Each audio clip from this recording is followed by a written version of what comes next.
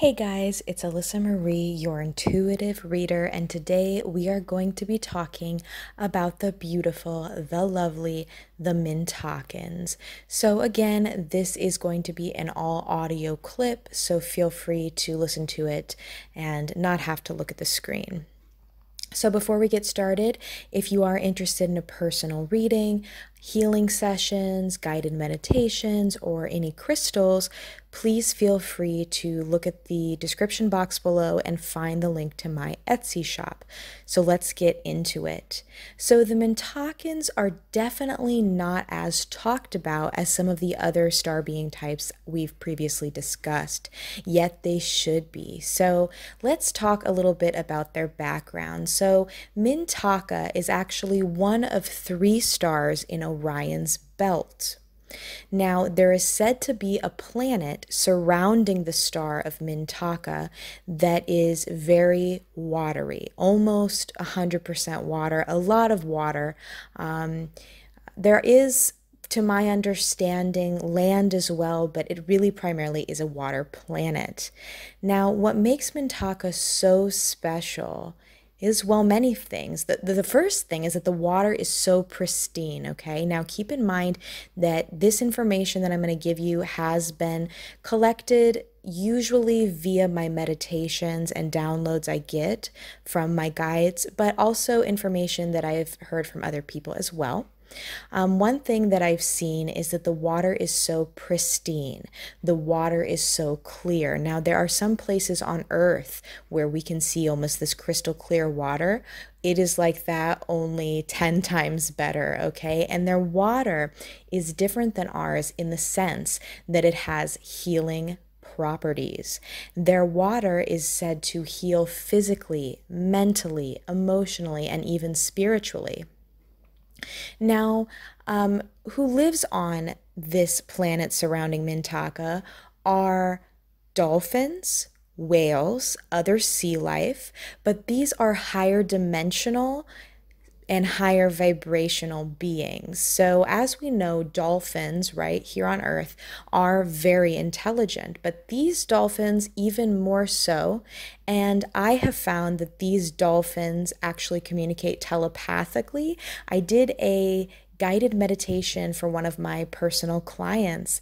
And what I saw through this was that we as humans can actually place our hand on a higher vibrational dolphin, and that dolphin's thoughts can go directly to ours and vice versa. Um, now, also, what is said to live there, I should say who is said to live there, is mermaids or mer people. Okay, so they look very human, but they look like a mermaid. I think, you know, when we when we think about mermaids like Ariel and things like that, I don't think it's exactly like that. I think they look still a little more, for lack of a better word, alien-esque than that. I don't like using that word, so I'm going to say otherworldly than that. They're still humanoid partially, but then have that, you know, fish fish like tail and they breathe water but they also breathe air because I have been shown that they do come out into coves and things like that. Now, as I said, they have these very, very amazing properties of water there. Like I said, this water can heal. So they actually have these coves that people can come up into, other Mintakans, but also beings from other star systems, even humans. We can come up and they can heal us in many ways. And they do that through the power of the water, but also through the power of, of uh, chants and magic and ceremony. Now, also, the way I see it is a lot of their cities and things, there are actual cities that exist under the water. And to me, these cities, they, they have kind of ancient Roman architecture. That's the way I see them. They have buildings and, um, you know, accommodations for for the beings and also schools and uh, other other things. Kind of similar to earth in that sense. Not the same as earth of course but um, they do have like cities. Now let's see if there's anything else. I have some notes here.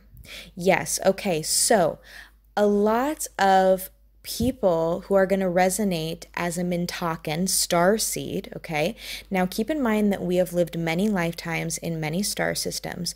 So if you feel connected to Mintaka, most likely you're going to be very connected to ocean life, okay? So to dolphins and sea turtles, um, all different types of ocean life and plants.